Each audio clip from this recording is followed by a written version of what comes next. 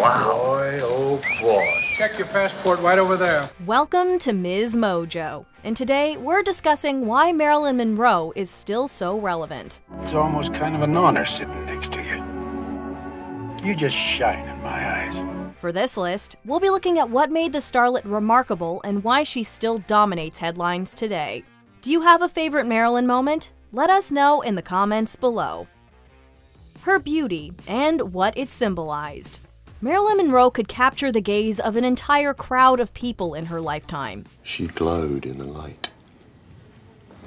Some photographer said it was because she had lots of little hairs on her body, but that's not it.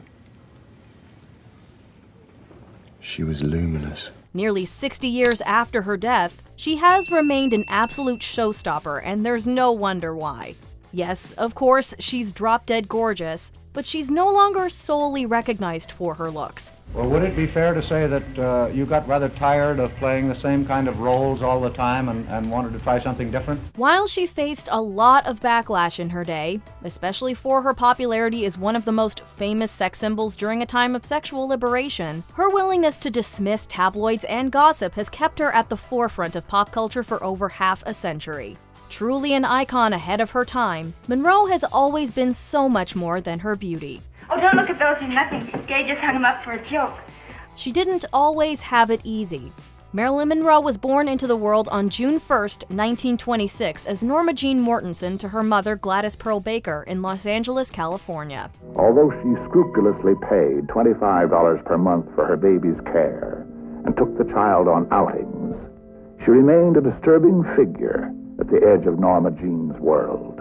Unfortunately, when Norma was just a young girl, her mother had a mental breakdown and was diagnosed with paranoid schizophrenia. This led to her being in and out of mental hospitals and minimal contact with her children. Norma spent a large majority of her childhood bouncing around various foster homes. See, I don't think there was 12, but there were quite a few. Ten counting the orphans home. I know I went to six different grammar schools. She eventually married relatively young to escape the system. Once on the cusp of fame, Hollywood twisted her sad home life into a tragic backstory, one that, for better or worse, caught everyone's attention. If bravery is measured by the fear it must overcome, then Marilyn's courage was great indeed.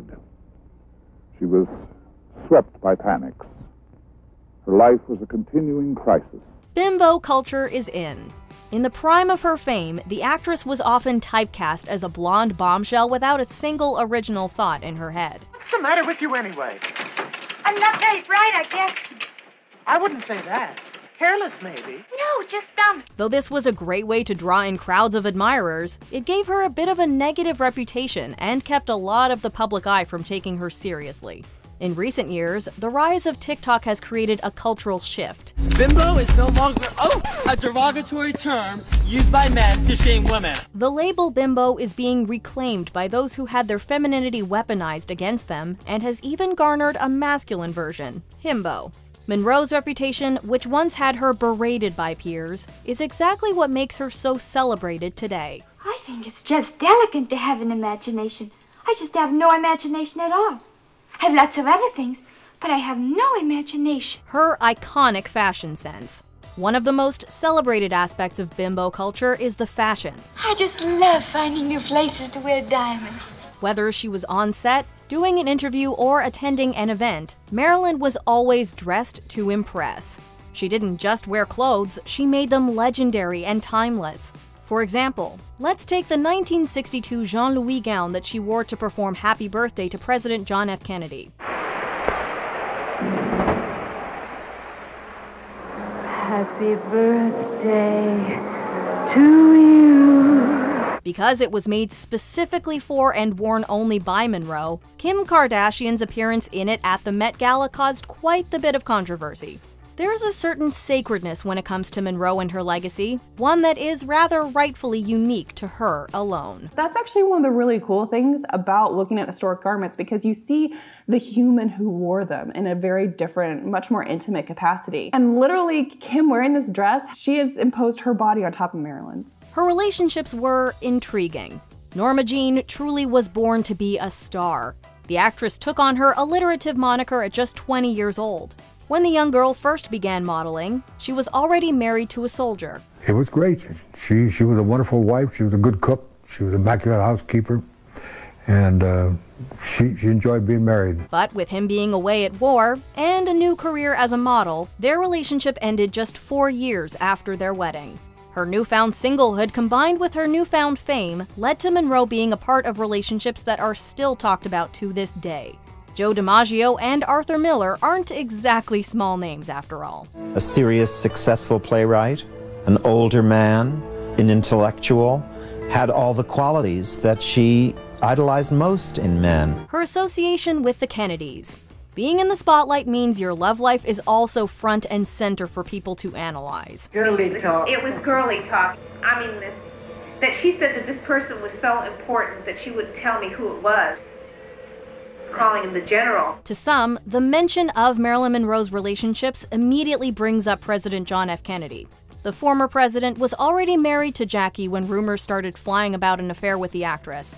Of course, they were never confirmed, but Ms. Monroe's sultry happy birthday performance certainly had crowds gossiping. Happy birthday, Mr. President. Happy birthday to you. After the end of the supposed affair, even more rumors popped up about Monroe and JFK's brother, Bobby. Though there is yet to be solid evidence that either of these affairs actually happened, the buzz was enough to make a lasting impact in the public's minds for years to come. But that both of them had said to her, "That's that's the end of it." No, uh, Jack didn't contact her. Yeah, Bob did. I see. And that's what killed her. Her death, the whole Kennedy debacle was also enough to breed endless conspiracies about her death. I was there at the time when she died. There were people there that normally wouldn't have been there. You mean Bureau people? Yes. Are you aware how long afterwards they came on the scene? Immediately. In August of 1962, Monroe was found dead in her home after overdosing on pills she had previously been prescribed. No matter how authorities ruled it, it has still been widely debated. You couldn't have Mrs. Murray, the housekeeper, finding Marilyn dead at 3 o'clock in the morning, and also Arthur Jacobs being called away from the concert as early as 11 o'clock. What was going on at the house between 11 p.m. and 3 a.m.? Conspiracy theories ranged from the actress having been murdered for knowing too much about the political doings of the Kennedys to the mere accidental overdose of her prescription. To this day, the details of her final moments are still unclear. It would seem a sense of mystery around Monroe remains, even in death. The circumstances of her death had been deliberately covered up. She suffered mental health issues. What makes you so sad? I think you're the saddest girl I ever met. You're the first man ever said that. I'm usually told how happy I am. Marilyn Monroe was predisposed to mental illness given her mother's psychiatric conditions.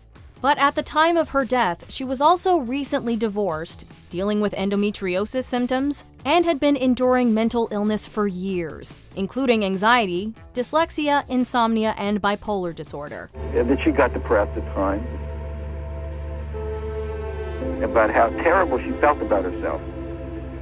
Right.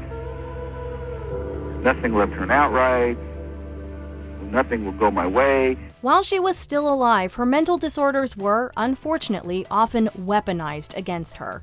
Recently, the stigma around mental health has dwindled, and people like Marilyn Monroe are celebrated for being so open about their mental health in a time when that was not seen as socially acceptable.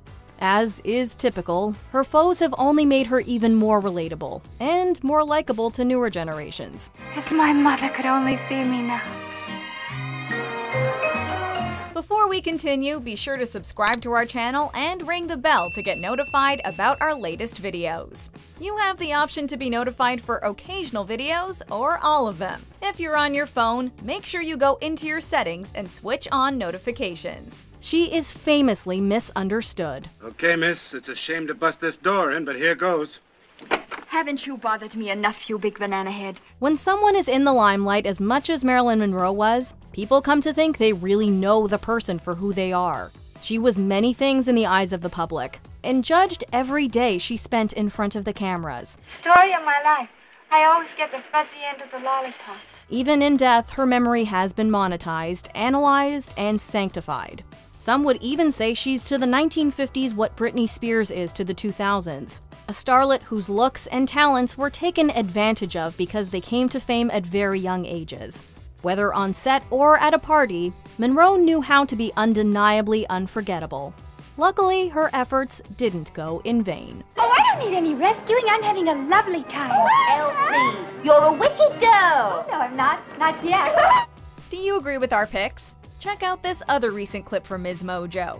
And be sure to subscribe and ring the bell to be notified about our latest videos.